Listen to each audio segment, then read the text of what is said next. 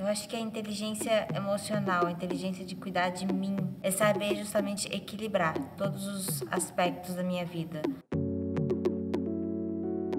Quando a gente está bem com a gente mesmo, as coisas eu acho que ficam mais equilibradas. O que me motiva é viver.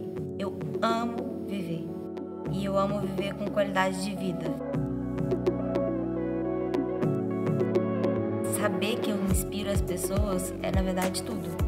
É isso que faz todos os dias eu querer compartilhar o meu melhor. Hoje eu até tenho várias pessoas que chegam perto de mim na hora que eu tô correndo e falam: Nossa, eu ainda vou chegar a ficar igual a você, com 50 anos você tá correndo esse tanto.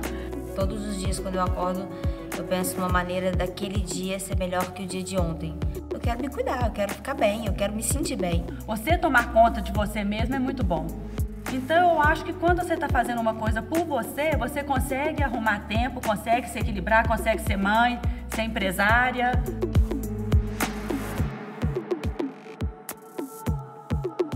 A determinação mesmo que você tem, a disciplina, o hábito que você cria na sua vida, que te dá força para você poder buscar os seus objetivos. Depois que vira hábito, você sabe que o que você vai colher com aquilo te traz tanta felicidade fica fácil fazer. Isso traz e isso acaba que reflete na vida. A gente fica uma pessoa mais feliz. Equilibrar é, todos os aspectos da nossa vida e encontrar um caminho para a gente conquistar os nossos sonhos. Tudo que eu sonho, eu procuro fazer, eu vou atrás, eu dou um jeito, eu me reinvento. Eu quero ser igual essa mulher. propósito na vida, você ter sonhos.